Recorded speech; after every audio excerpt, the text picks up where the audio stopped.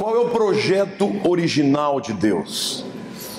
Projeto original de Deus para o homem era que ele tivesse um relacionamento muito íntimo com Deus e que toda a imagem de Deus projetada no homem fizesse do homem um ser inigualável na criação.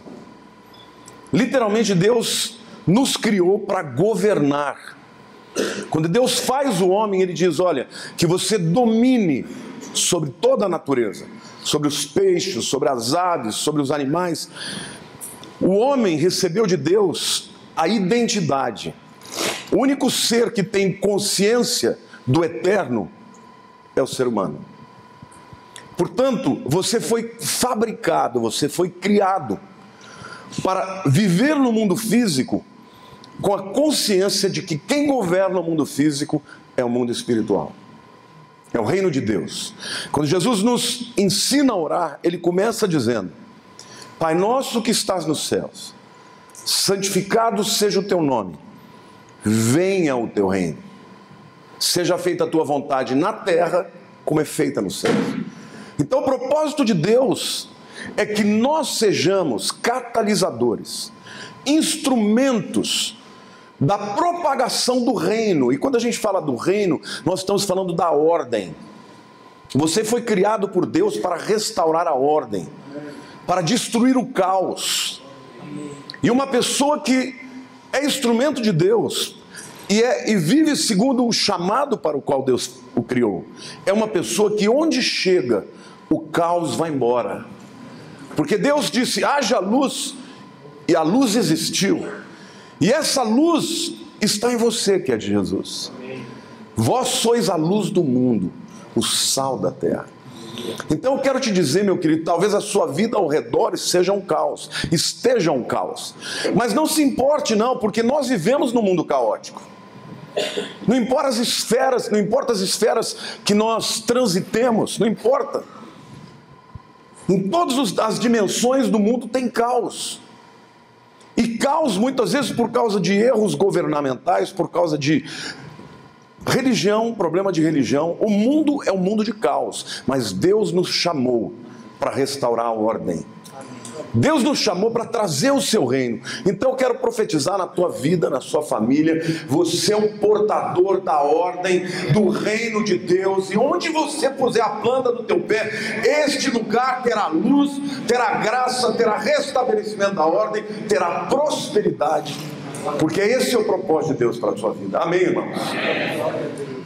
Lá no livro de Romanos, no capítulo 8, os versículos 19 a 21, eu, eu vou ler para vocês um texto que raramente alguém aborda do ponto de vista teológico e hermenêutico da maneira como eu vou interpretar vocês. O texto diz assim: a ardente expectativa da criação aguarda a revelação dos filhos de Deus, pois a criação está sujeita à vaidade, não voluntariamente, mas por causa daquele que a sujeitou na esperança de que a própria criação será redimida do cativeiro da corrupção, para a liberdade da glória dos filhos de Deus.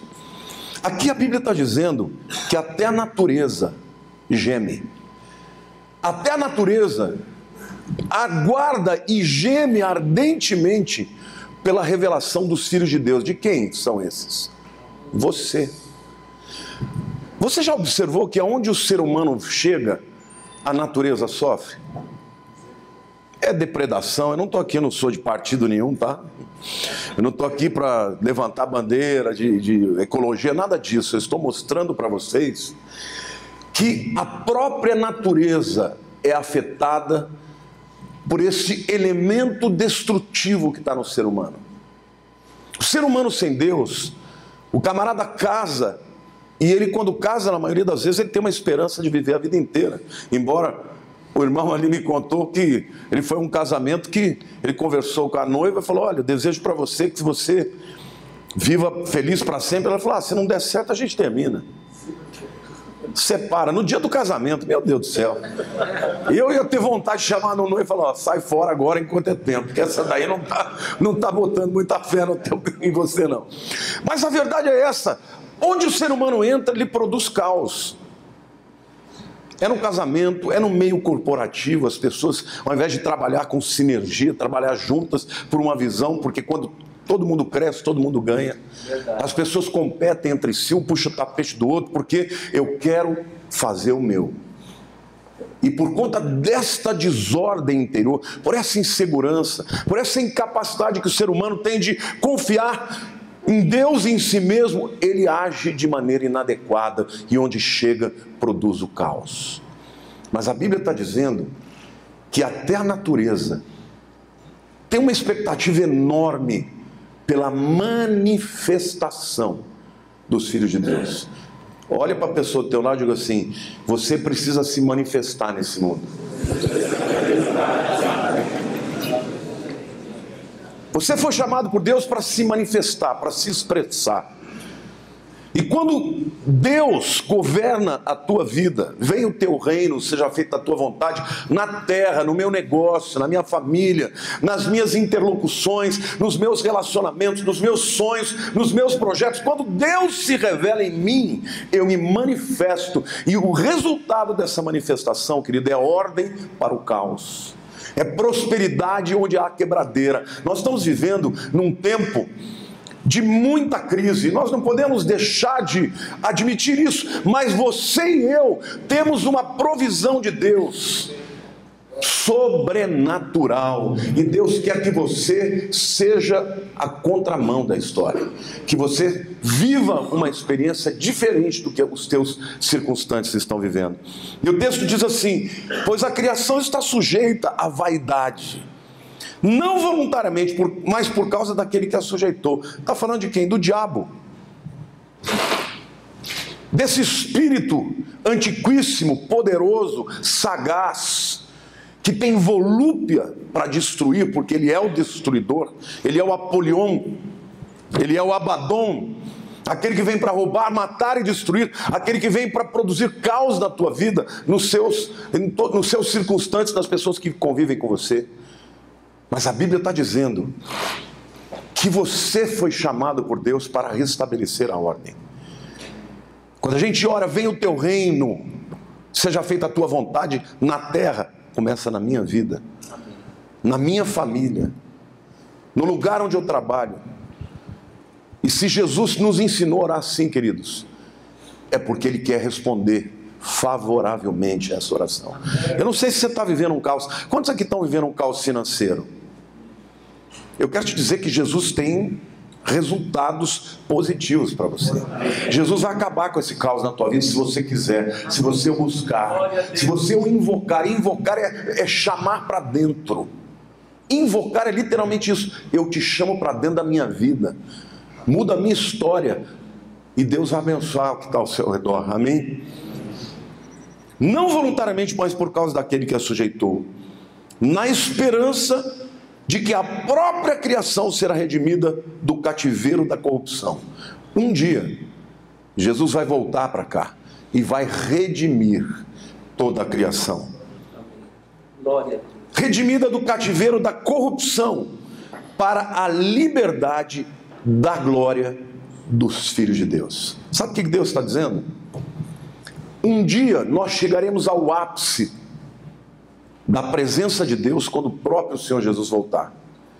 Mas enquanto isso não acontece, Deus te chamou para liberdade, e não só para liberdade, mas para uma liberdade onde a glória de Deus perpassa a sua vida e alcança os seus semelhantes. Deus não te chamou para a escuridão, te chamou para a luz. Deus não te chamou para o caos, te chamou para o governo, para dominar, para conquistar, para estender os seus limites, para ir além, para prevalecer, para se destacar. Querido, saiba disso. Enquanto você está olhando para fora, para os seus problemas, olhando para a miséria dentro de você, Deus está dizendo: invoque o meu reino, chame o meu reino para dentro de si, porque eu vou restabelecer o caos. Esta é a vontade de Deus na tua vida. Que você seja instrumento de Deus, de trazer a paz, o avanço, o progresso, a prosperidade, a alegria, a glória de Deus. Amém? Isto vale para o nível do indivíduo, isto vale para o nível da família. Deus começou a história de restauração através de uma pessoa, de um homem, Abraão. E em Abraão, Deus escolheu uma família. Abraão gerou Isaac, Isaac gerou Jacó e seus, suas, seus doze filhos, que se tornaram as suas doze tribos. E Deus fez uma aliança com esta nação que nasceu como resultado de um só homem. E o que Deus está dizendo para você é que assim como ele esteve com Abraão, ele está na tua vida. Olha o que Êxodo 19, Êxodo 19, 5 e 6 nos revela. Os versos nos revelam, o texto nos revela. Agora, pois, se diligentemente, diga diligentemente, ouvirdes a minha voz e guardardes a minha aliança, sereis a minha propriedade peculiar dentre todos os povos, porque toda a terra é minha. Mas vós me sereis reino de sacerdotes e nação santa. São estas as palavras que falarás aos filhos de Israel. Deus está dizendo assim: olha, o que eu quero fazer com vocês é extraordinário. O que eu quero fazer de vocês, Israel, é uma nação peculiar entre todas as outras. Vocês querem alguns dados de que, o que é a peculiaridade da nação de Israel? A nação de Israel hoje não representa mais do que 0,3% da população do mundo. Mas em todo o mundo ocidental, os judeus estão no topo da cadeia alimentar. Eles dominam a economia, as finanças. Na medicina, eles têm as melhores patentes. Na física, na matemática, os judeus concentram em si mesmos mais de 70% dos prêmios Nobel. Por quê? Se você fizer uma análise do cérebro deles, eles são exatamente iguais a vocês. Eles não têm nada de superior a vocês. O que existe sobre a vida deles é uma aliança e uma marca. Amém. Que aconteceu por causa de Abraão ter tomado uma decisão de abandonar o paganismo e crer no Deus verdadeiro. Porque está assim de judeu hoje que nem em Deus crê. Mas eles não sabem, mas eles estão debaixo de uma unção e de uma bênção e de uma prosperidade que tem a ver com uma decisão do seu antepassado Abraão há quatro mil anos atrás.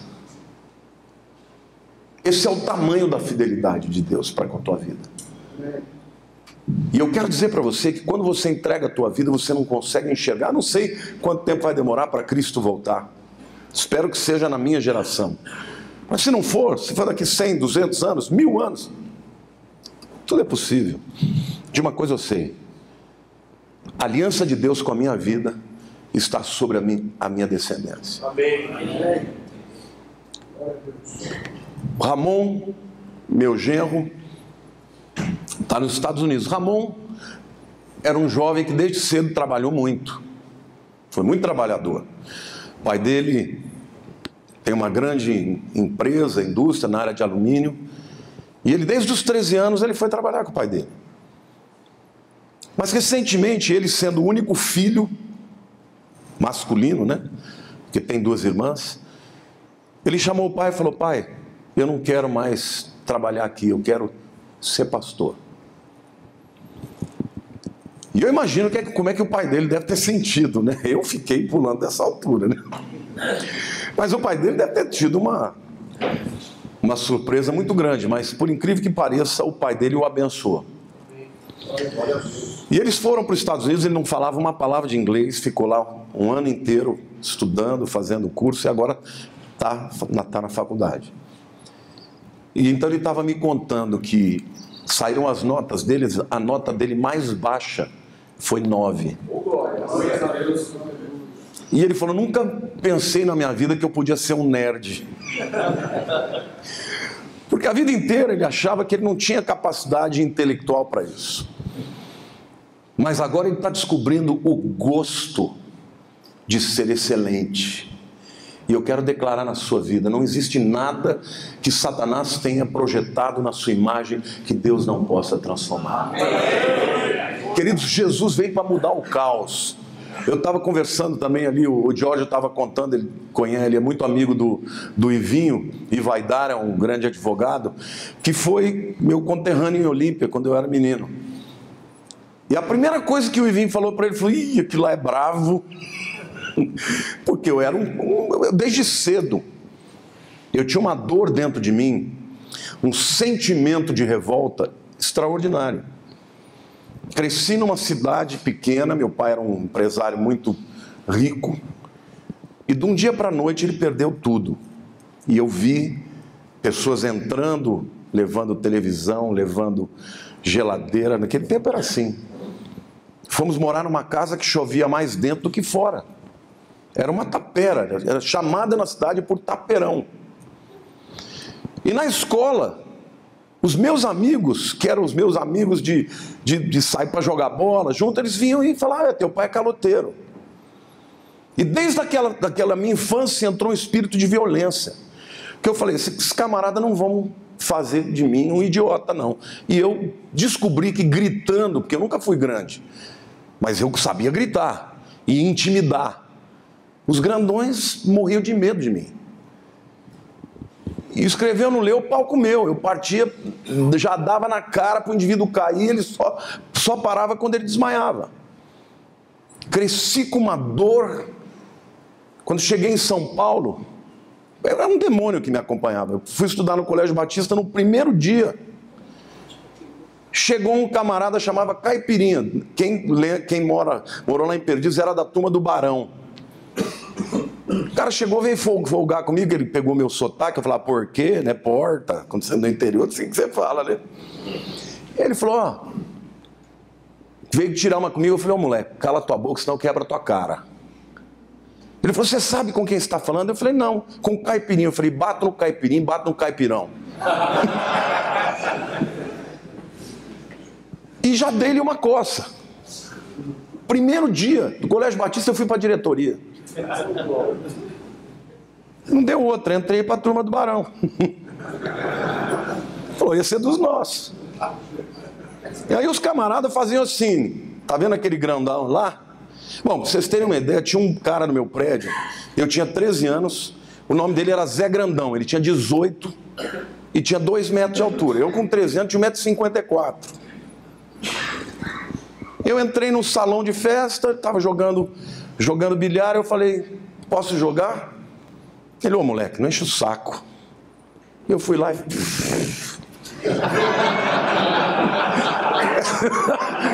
Acabei com o jogo do camarada. Ele me deu um chute, irmãos, que eu devo ter voado uns 20 metros. Ele nem tinha, ele nem olhou. Eu cheguei na mesa, peguei as bolas e comecei a tacar. Mas tá cá mesmo, o cara sumiu dali, todo mundo sumiu dali. Um dos primeiros dias no prédio. Foi falar com a minha mãe. Seu filho é doido. Ela falou: é, minha família é tudo doido mesmo. E você toma cuidado com esse menino que ele não bate bem. Eu sei, queridos, que quando eu cheguei aos 19 anos, a minha vida já era um caos. Eu tinha ódio do mundo, até que eu conheci Jesus. E desde lá, eu me lembro que ainda no Colégio Batista, o xerife, que era um, a gente chamava de xerife, que ele usava um chapelão, ficou, morou muitos anos no Texas, ele me chamou e falou: Menino, quero dizer uma coisa para você, tem te observado. Você vai ser duas coisas na vida, ou uma ou outra. Ou você vai ser um líder de Deus, ou você vai ser um bandido. Você que vai escolher. O propósito de Deus para a minha vida era que eu fosse um pastor de ovelhas. O propósito de Satanás na minha vida era que eu fosse um bandido. Mas graças a Deus que eu invoquei a Deus para a minha vida. E Deus começou a governar meu coração, a minha família. E hoje, quando eu vejo a filha que eu tenho abençoada, o genro abençoado, o neto por quem eu sou apaixonado, eu já consigo ver a bênção de Deus nas minhas gerações. Eu quero te dizer que Deus tem um propósito para você, homem. Não importa qual área da tua vida que esteja em caos, hoje Deus quer fazer de você um instrumento da sua glória. O texto diz claramente que a, a própria natureza espera a manifestação da liberdade e da glória. Deus não quer que você seja um instrumento de caos, de ressentimento, de violência. Deus quer que você seja um instrumento da glória de Deus. Você está me entendendo? A glória é a refulgência, é o poder, é o fulgor, é a graça, é o favor. Amém? Pode aplaudir mais.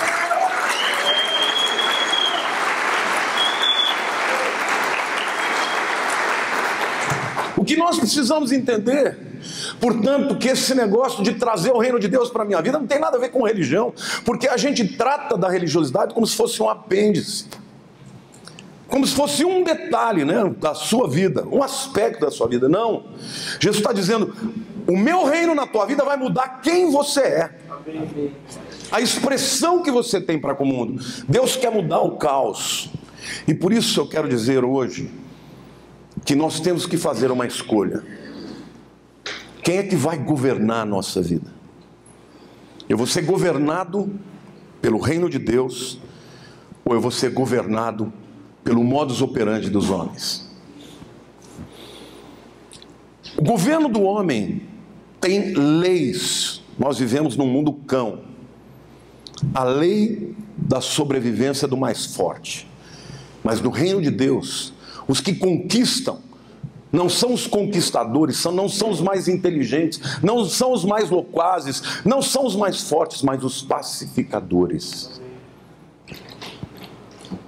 Então, muitas vezes o inimigo, ou ele te prende, porque ele coloca no seu interior a sensação da sua incapacidade diante das demandas da vida, e você se torna um coitadinho, ou ele te prende te dando muitas coisas para que você acredite que tudo que você conquista pela tua inteligência, pela tua capacidade, torna você uma pessoa que não precisa de Deus.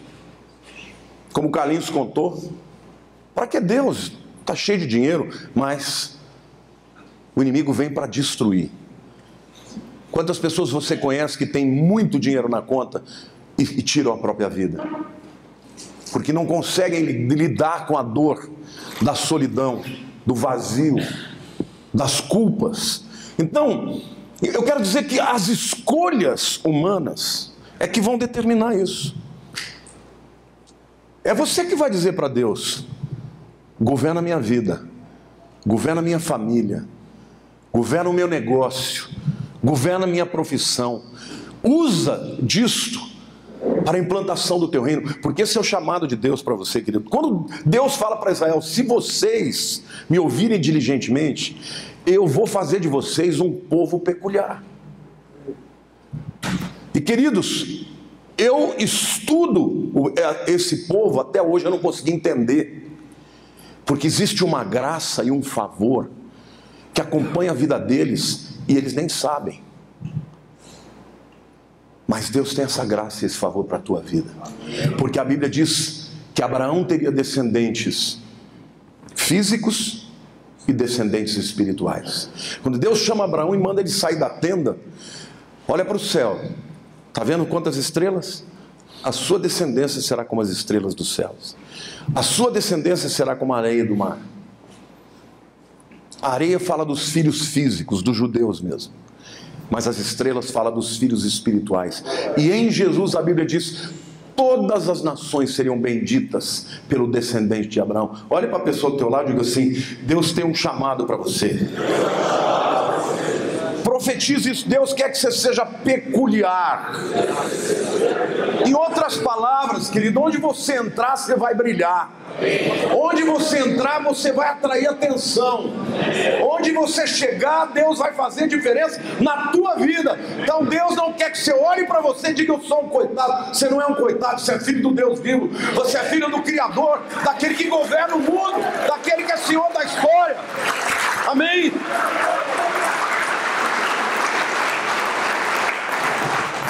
A humanidade ela tem tentado de alguma maneira buscar o poder. Mas o poder que traz domínio, opressão, sujeição e todos os todos os sistemas econômicos, sistemas de relação entre os homens não são perfeitos. Eu li certa, muito tempo atrás um livro do, do, do grande escritor Alvin Toffler, chamado A Terceira Onda. Ele fala sobre as três ondas que a humanidade viveu. A primeira onda é a onda da agricultura, onde as famílias viviam todas juntas, né? Pai, mãe, tio, avô, primo, galinha, papagaio, todo mundo junto. Mas o mundo se desenvolveu e veio o industrialismo e os seres humanos saíram das fazendas e foram para as cidades e as famílias foram transformadas. De famílias conglomeradas para famílias nucleares. Que é o modelo que a gente está vivendo, mas nós estamos no, no edge, né? nós estamos no limite da segunda para a terceira onda. Porque a segunda onda é a onda da industrialização e a terceira é da informática e da tecnologia. Hoje, as famílias também estão sendo modificadas. Não é mais a família nuclear, agora são as famílias de homem com homem, mulher com mulher, filhos que são criados. A sociedade está chegando ao ápice do seu caos. Porque quando a família é abalada, a alma dos seres humanos é profundamente abalada. Por isso, mais do que nunca, Deus quer levantar você para se manifestar nesse mundo, não para ser um crente chato. Deus não quer que você tenha um discurso de crente, Ele nos dá sabedoria inteligência para interagir, para influenciar. É por isso que Ele precisa derramar sobre a tua vida graça, favor, misericórdia, porque as pessoas olham para um cara que está vencendo e digam: Eu quero ser como você. Ah, você quer? Então vou te dizer como eu cheguei aqui. Eu era assim, mas Deus mudou minha vida e hoje eu estou assim porque Deus é o Senhor da minha vida.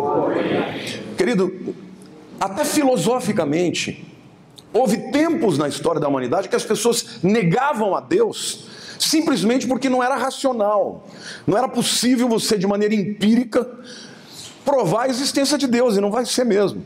Só que a humanidade avançou também filosoficamente, e hoje nós vivemos muito mais dentro de uma visão existencialista, onde o camarada quer ser feliz. Então hoje, não é difícil você falar de Cristo, porque as pessoas se abrem quando você tem uma vida de autoridade, uma vida onde você revela mais do que uma religiosidade. Eu vejo, as nossas igrejas estão lotadas. Por quê? Porque as pessoas estão com fome. As pessoas querem uma direção. E eu quero te dizer que essa direção é você que vai mostrar. E vai mostrar por uma vida transformada. Por isso eu quero declarar que se a tua família está sendo destruída, Jesus vai restaurar. Do mesmo jeito que Jesus ressuscita um morto, ele ressuscita um casamento. Se o teu filho está na droga, está amarrado, eu quero profetizar e quero declarar que ele vai ser livre e que ele vai ser transformado. Ele fez isso na minha vida, pode fazer na vida do teu filho também. Amém? Muitas pessoas que me conheceram quando eu era jovem foram para a igreja. Eu me lembro da Célia e do César. Vocês lembram da Célia e do César, os mais antigos da igreja? A Célia estudou comigo. Ela cansou de ver eu fazer bullying nas meninas. Eu fazia bullying nos. Quando fala negócio de bullying, eu já pedi tanto perdão para Deus, irmãos. Que eu fazia bullying. Principalmente com os crentes. Ameaçava bater. Fazia de tudo. O dia que ela soube que eu me converti, ela falou: Quero ver isso. Só Deus mesmo para fazer um negócio desse. E eu quero te dizer que Deus é capaz de fazer isso. Meu querido, saiba que Deus quer mudar a tua vida, Ele quer governar a tua casa, Ele quer governar o lugar onde você está. Deus está te dizendo: se você me ouvir diligentemente, você vai ser peculiar, você não vai ser igual aos outros. Você não vai ser mediano, medíocre, você vai ser cabeça e não cauda. Agora não olhe para estas coisas que você conquistar como uma finalidade, elas são meio, elas são instrumento. Jesus tinha uma mensagem de salvação para dar, mas por que, que as multidões iam atrás dele? Porque ele curava. Olha que tremendo. Camarada tinha um problema que o homem não podia resolver. Ele procurava Jesus, Jesus tinha graça, tinha amor e tinha poder. Curava o camarada e falava: Eu quero, quero te seguir. E Deus me manda te dizer que quando você traz o reino de Deus para a tua vida, você também vai ser instrumento de libertação. Você também vai ter a resposta, a direção e o caminho que Deus quer mostrar na tua vida. Para que outros que estão aguardando a manifestação e a revelação dos filhos de Deus possam encontrar o caminho da salvação através da tua vida. Então, homem, Ontem eu falei muito para vocês a respeito, para os que não estavam aqui hoje, que a chamada teoria de Maslow, Maslow é um, um psicólogo da, da área comportamentalista ou behaviorista, ele estabeleceu uma, um critério de prioridades que começa com água, comida, roupa, moradia, segurança e vai daí por diante. A última área de importância dentro dessa análise de Maslow é o que? A autossatisfação interior. E eu mostrei como Jesus mostra que as prioridades dos homens estão trocadas. Quando ele diz: buscar em primeiro lugar o reino de Deus e a sua justiça, e as demais coisas vos serão acrescentadas. E mostrei como a conversa começou Jesus falando: por que vocês estão preocupados com o que vão comer ou beber? Ou se vestir? E eu disse: há dois mil anos atrás, Jesus já tinha interpretado a escala de prioridades do ser humano, muito antes do Maslow. Mas ele disse: todas essas coisas serão acrescentadas e não subtraídas, se você buscar Deus em primeiro lugar. Amém. É sintomático na igreja, eu vou fazer uma pergunta bem sincera aqui. Quantos aqui tem uma mulher que é cristã? Levante a mão. Pode abaixar, a maioria. Na sua casa, quem puxa quem para ir para a igreja? Quantas mulheres aqui te levaram para a igreja, ou te levaram não para a fé necessariamente, mas para você não se afastar? Levante a mão. Quantos aqui são homens que levam as suas mulheres. As mulheres não estão muito afins e falam, não, vamos, que é importante. Poxa, eu estou aqui num. Eu estou aqui num grupo de homens que são exceção, glória a Deus por isso. Mas ah, pode aplaudir o Senhor.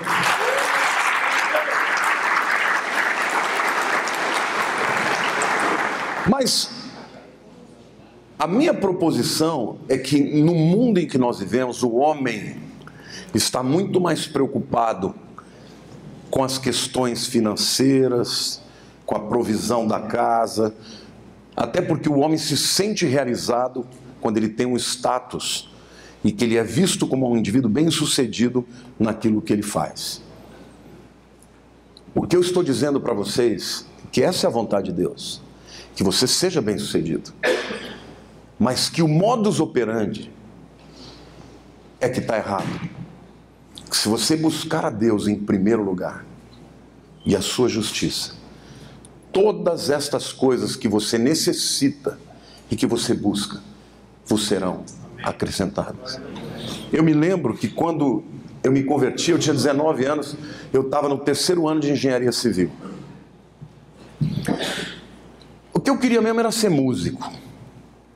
Mas eu me lembro que um dia o meu pai falou assim: Olha, músico você não vai ser de jeito nenhum.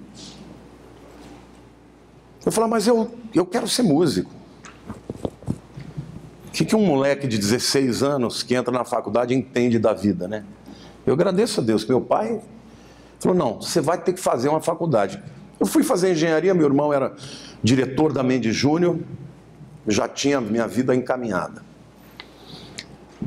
No terceiro ano de faculdade, eu me converto. E Deus começou a falar comigo. Eu quero que você seja pastor. Queridos, quando antes de me converter, eu fui, eu participei de movimentos da Igreja Católica. O pastor Celso, que era meu amigo depois eu o ganhei para Jesus, ele se lembra disso. No movimento católico eu não abri a boca. Dá para acreditar um negócio desse? Eu não abria a boca. Eu só tocava.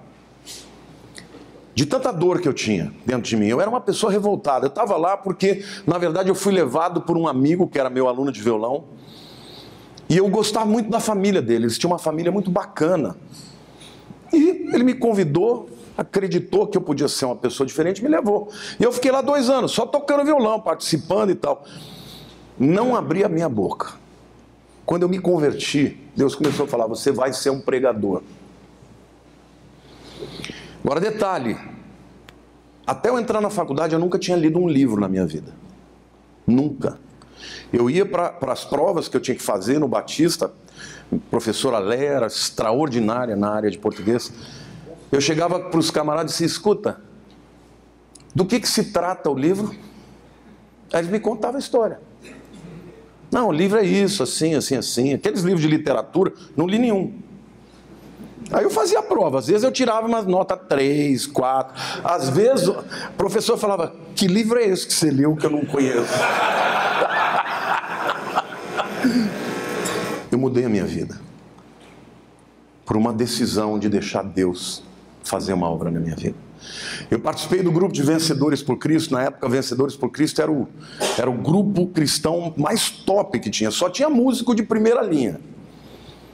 As pessoas que iam para lá tinha fila de gente. Até o João Alexandre, hein? Teve que fazer teste para. Quando vieram me convidar para ser o pianista, eles falaram: já foi escolhido já. Eu falei, mas o que é vencedores? Você não conhece vencedores? Porque não, eu tinha menos de um ano de convertido. Passei três meses viajando pelo Rio Grande do Sul, tocando. E eu não sabia que aquele grupo era um grupo de treinamento. Então, os jovens que estavam lá, eles não só tocavam e cantavam, mas eles tinham também que pregar. Todo mundo pregou e chegou minha vez. Eu falei: Eu não vou pregar, não sei pregar. Se você não pregar, você vai embora. Eu não queria ir embora, que eu estava adorando tocar com aquele com aquelas feras, né? O contrabaixista, o Marinho, hoje toca no Zimbo Trio. Veja só o nível do, do grupo que eu tocava. Eu falei, então me manda aí o, a folhinha, escreve para mim, porque eu não sei. Primeiro dia que eu preguei, eu estava lá no Rio Grande do Sul, na Igreja Batista Alemã. Imagina, irmãos. Chegou minha vez, eu tremia, não sabia se era unção ou era medo mesmo. Comecei a pregar no papel. Deu cinco minutos, eu larguei o papel e mandei bala. Quando eu fiz apelo, umas 20 pessoas aceitaram Jesus. A partir daquele dia, eu me tornei o pregador oficial do grupo. Na primeira vez. Eu quero dizer para você que Deus pode fazer assim na tua vida.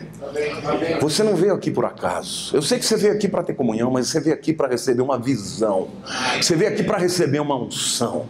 Você veio aqui para conhecer um destino. O destino de Deus na tua vida é mudar o teu fracasso e trazer uma vida de prosperidade, de bênção. Não estou falando de uma prosperidade, dê para mim que você vai ser abençoado. Não é isso. Eu estou te falando que Deus tem um chamado para você e que você não sabe do teu valor e do que você é perante Deus. Deus e qual o teu chamado para com o mundo.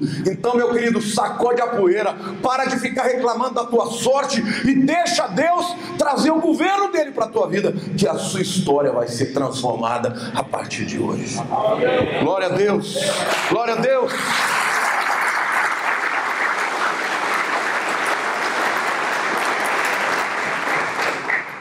Portanto, o projeto de Deus para o homem é que ele governe é que ele tem autoridade. A palavra autoridade, exousia. Diga assim, exousia. Essa usia é a palavra grega para o verbo ser estar.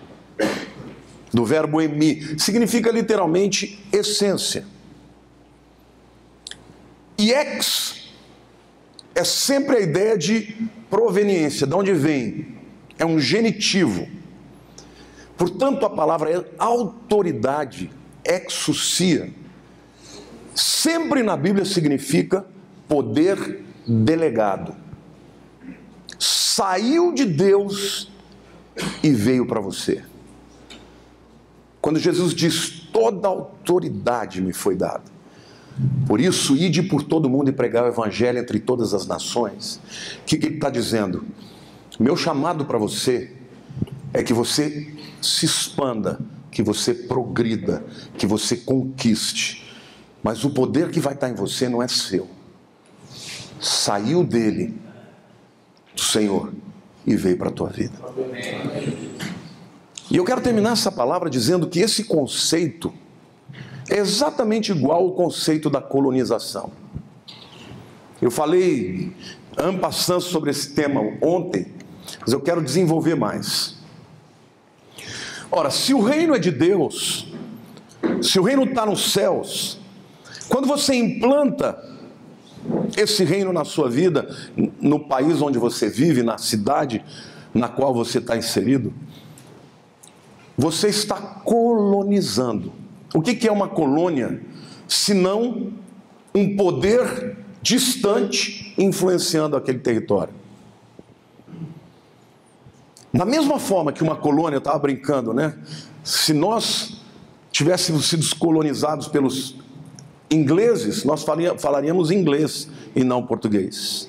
Dirigiríamos do lado direito e não do esquerdo. Porque a colônia, o que ela faz? Ela imprime as suas leis, o seu princípio, o seu estilo de governo. O, como? Os conceitos, a mentalidade. E se você olhar bem, você percebe que todos aqueles que foram colonizados por países protestantes são mais prósperos do que que foram colonizados por países católicos. Por quê? Max Weber já falou sobre isso, né? quando ele fez uma análise da, do, do protestantismo e do capitalismo. De maneira prática, para vocês entenderem, no, momento, aqui não é aula de história, não, nem estava no script, mas é importante falar para vocês verem o que, que é uma mentalidade. Na época do feudalismo, o poder central era muito fraco. Quem tinha poder na Europa era a igreja. E nos feudos, que eram literalmente uh, conglomerados, né? um, tinha um rei, os seus nobres e, e os trabalhadores, né? os, uh, o proletariado, eles começaram a fazer comércio. E a Igreja Católica, porque queria que todo mundo desse dinheiro para ela, ela preferia que as pessoas fossem pobres para que ela fosse rica. Porque na visão católica, o império é rico, mas bem-aventurados os pobres. Mas na visão bíblica não é assim. E a burguesia, quando houve a reforma da igreja em 1517, ano que vem, nós vamos ter 500 anos de, de reforma religiosa, ela trouxe uma outra visão. Deus é um Deus próspero e Ele quer que você, como indivíduo, como nação, prospere. A Igreja Católica trazia culpa para quem ganhava. O protestantismo trazia mérito. Parabéns, está recebendo o que você merece. E a burguesia, que estava começando a se desenvolver, mercantilismo, produzindo sapatos, produzindo uma série de produtos manufaturados, por conta dessa visão protestante, eles queriam crescer, se converteram. E houve uma transformação em toda a mentalidade europeia literalmente, os países que são fruto da visão protestante prosperaram. Mesmo na Europa, quais são os países mais pobres? Portugal, Espanha, Itália. A Grécia hoje está na manhaca também, né? Mas, mas a Grécia é também católica, né? Ortodoxo, mas católico. Agora vejam os países que estão arrebentando.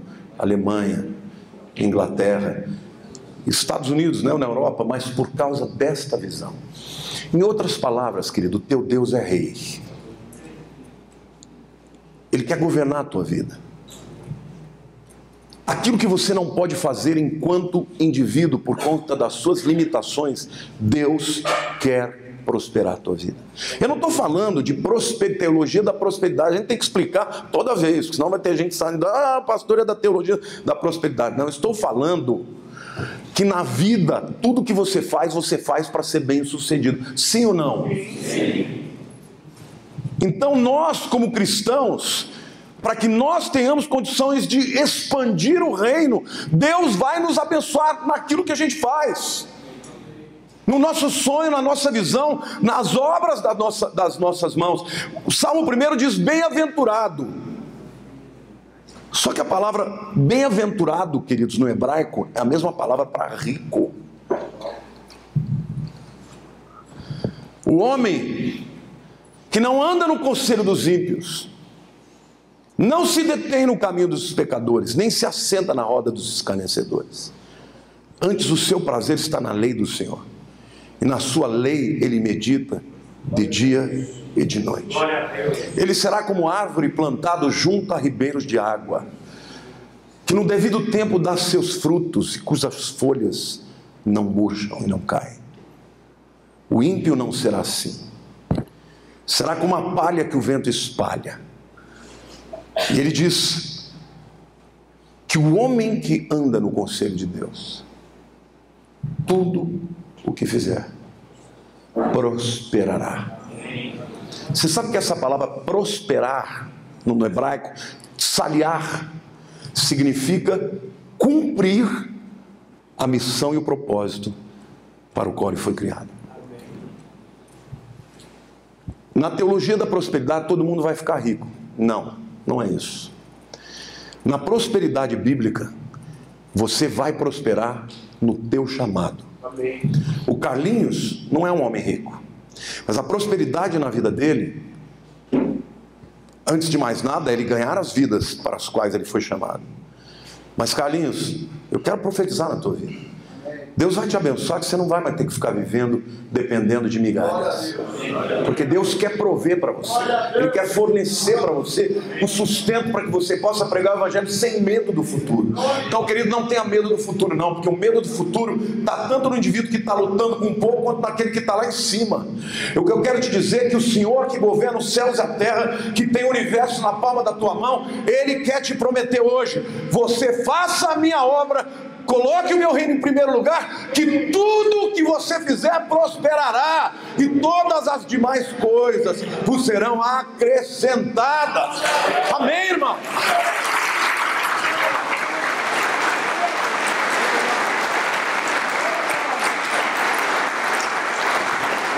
Então, na verdade, o que Deus espera de nós, meus queridos, é que nós entendamos que nós somos esses colonizadores. E a visão do tempo das, das, das nações imperialistas que iam para os continentes para conquistar, eles iam com qual finalidade? Para descobrir riquezas, principalmente riquezas de ouro, diamantes, matéria-prima. Eles chegavam lá, eles se estabeleciam, eles mudavam o ambiente. Nós fomos colonizados aqui, só tinha índio. Mas os jesuítas vieram e trouxeram o evangelho. E o país, ele nasce e ele começa a assumir, a assimilar a cultura do império, do país que coloniza. E é isso que Deus está dizendo para você. Quando eu colocar você num, num, território, quando você atravessar uma fronteira mandado por mim, os recursos daquela terra serão seus. As pessoas que lá estarão vão ser influenciadas por você. E você vai ser instrumento do meu reino ser propagado. Você vai conquistar, vai aumentar o seu território. E saiba de uma coisa, é igual na vida financeira. Quantos aqui são empresários? Levante a mão. Desses empresários que são empresários, quantos já quebraram? Essa é a história do empresário. Se você não quer quebrar, não seja empresário, porque empresário muitas vezes quebra. E o fato de você quebrar não significa que Deus não está te abençoando, Ele está te treinando. Mas o que Deus está te dizendo é o seguinte: olha, quebrou, coloca a tua vida na minha, na minha presença que eu vou mudar a tua sorte. Você lê a história dos grandes homens, dos grandes empresários, todos eles passaram por reveses. Você já passou por três? três quebras. Na tua vida talvez não precise disso. E se você é de Jesus, nem isso você talvez precise passar. Mas se você entender o princípio da colônia, quando você chegar num lugar, você vai dizer: Deus, esse lugar aqui não é meu, é teu. Mas eu quero conquistar. Eu quero expandir. Eu quero influenciar. E o grande perigo na vida de um cristão é que na prosperidade ele se afasta de Deus. Cuidado, viu? Porque Deus ama mais você do que as coisas que você tem. Se Deus olhar para a tua vida e falar: esse camarada não pode ficar rico, ele não vai deixar você ficar rico. Agora, se ele olhar para a tua vida e falar: esse camarada aí me serve de um jeito ou de outro, ele vai abrir as janelas dos céus para que você possa ser instrumento da propagação do seu reino. Qual o projeto original de Deus? Que o homem, aquele que foi criado segundo a sua imagem, imagem interior, caráter, características, atributos de Deus estão em nós. Deus é criador, nós somos criativos. Deus conhece todas as coisas, nós somos inteligentes. Deus gera, nós temos a semente para gerar. Você foi feito à imagem e semelhança de Deus, e o projeto original de, de Deus para a tua vida ainda está valendo, meu querido. Às vezes, nós, como homens, pisamos na bola. Deus tinha para Abraão uma descendência, Demorou muito. Ele olhou para Sara e falou assim: Sara já está mortinha. Não tinha Viagra naquele tempo. Então, Sara falou: fica com Agar, porque Agar tinha 20 anos, 18 anos. Lançou mão do natural e nasceu Ismael. E até hoje estão causando problema por causa disso. Mas Deus não desistiu. Deu uma nova oportunidade a Abraão. E nasceu Isaac, o filho da promessa, sobrenaturalmente. Talvez você esteja a tua vida inteira dando o teu jeitinho para viver. Mas hoje eu quero te dizer que o plano de Deus original na tua vida é que você seja uma bênção e que não tenha que dar jeitinho. Porque o jeito de Deus é melhor. Amém, queridos? Quantos aqui querem ser instrumentos de Deus para a sua glória nesse mundo? Quantos aqui querem viver segundo o reino de Deus na sua vida? Quero pedir para você ficar de pé então, queridos.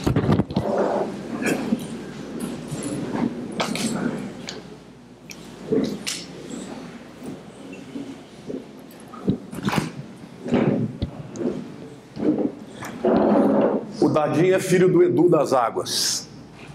Para quem não conhece, Edu das Águas é um grande pintor. E toda vez que ele começa a pintar uma coisa, eu fico, eu gosto de observar o processo. No começo parece que é uma coisa esquisita, né? A gente que não é da área, eu iria pintar de outro jeito. Ele começa a pintar umas coisas e fala, mas o que, que ele está fazendo aí?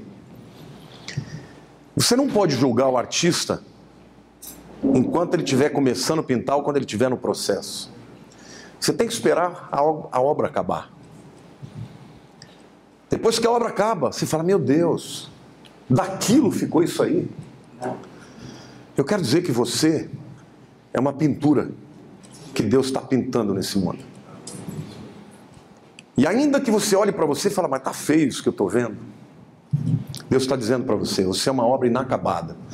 Mas aquilo que eu comecei eu vou terminar. E a palavra de Deus diz Eu tenho por certo que aquele que começou uma boa obra em vós há de completá-la até o dia de Cristo. E eu quero declarar sobre a tua vida, querido, e sua, sua vida como um todo, que Deus vai fazer uma obra linda. As pessoas vão olhar para a tua vida e vão se admirar e vão dizer: Meu Deus, que que é isso que aconteceu na vida desse camarada? E você vai dizer: A glória de Deus está na minha história. Eu era assim, eu sou assim. E eu quero profetizar que você vai ser muito mais do que o diabo tem dito para você. Ele vai fazer de você uma outra vida, uma vida digna de honra, de glória, de expressão de liberdade nesse mundo. Feche seus olhos.